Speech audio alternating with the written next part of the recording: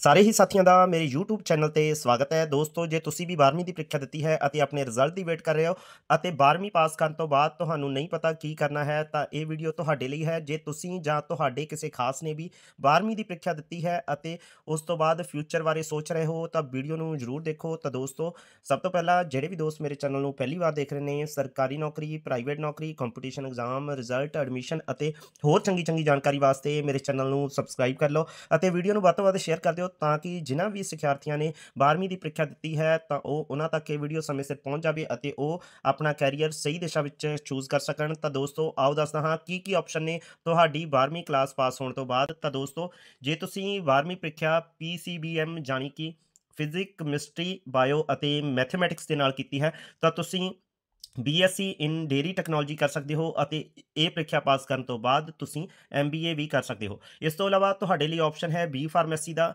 ਅਤੇ B pharmacy ਕਰਨ ਤੋਂ ਬਾਅਦ ਤੁਸੀਂ ਐਮ ਫਾਰਮੇਸੀ ਜਾਂ ਫਿਰ ਐੱਮ ਬੀ ਏ ਵੀ ਕਰ ਸਕਦੇ ਹੋ। ਐੱਮ ਬੀ ਏ ਮਤਲਬ ਮਾਸਟਰ ਆਫ ਬਿਜ਼ਨਸ ਐਡਮਿਨਿਸਟ੍ਰੇਸ਼ਨ ਤੁਸੀਂ ਇਸ ਤੋਂ ਬਾਅਦ ਬੀ ਟੈਕ ਇਨ ਐਗਰੀਕਲਚਰ ਵੀ ਕਰ ਸਕਦੇ ਹੋ। ਐਮਟੈਕ ਦੀ ਵੀ ਆਪਸ਼ਨ ਤੁਹਾਡੇ ਲਈ ਹੈ। ਬੀ ਟੈਕ ਕਰਨ ਤੋਂ ਬਾਅਦ ਅਤੇ ਐੱਮ ਬੀ ਏ ਦੀ ਵੀ ਆਪਸ਼ਨ ਤੁਹਾਡੇ ਵਾਸਤੇ ਉਪਲਬਧ ਹੈ। ਤਾਂ ਦੋਸਤੋ, ਇਸ ਤੋਂ ਇਲਾਵਾ ਜੇ ਤੁਸੀਂ ਬੀ ਬੀਐਸਸੀ ਇਨ ਬਾਇਓਟੈਕਨੋਲੋਜੀ ਕਰਨੇ ਚਾਹੁੰਦੇ ਹੋ, ਤਾਂ ਇਹ ਵੀ ਤੁਹਾਡੇ ਲਈ ਆਪਸ਼ਨ ਬਣਦੀ ਹੈ।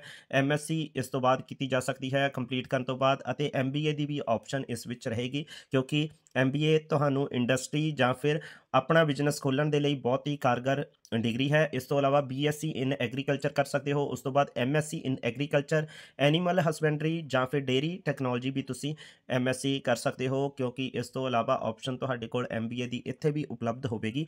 ਤਾਂ ਦੋਸਤੋ, ਉਮੀਦ ਕਰਦਾ ਹਾਂ ਕਿ ਮੇਰੇ ਦੁਆਰਾ ਦਿੱਤੀ ਗਈ ਜਾਣਕਾਰੀ ਤੁਹਾਡੇ ਲਈ ਬਿਹਤਰੀਨ ਹੋਵੇਗੀ। ਇੰਨੇ ਸ਼ਬਦਾਂ ਦੇ ਨਾਲ ਤੁਹਾਡੇ ਤੋਂ ਵਿਦਾ ਲੈਂਦਾ ਹਾਂ। ਅਗਲੀ ਵੀਡੀਓ ਨਾਲ ਜਲਦ ਹੀ ਮਿਲਾਂਗੇ। Thank you thank you for watching my channel thanks once again to all my viewers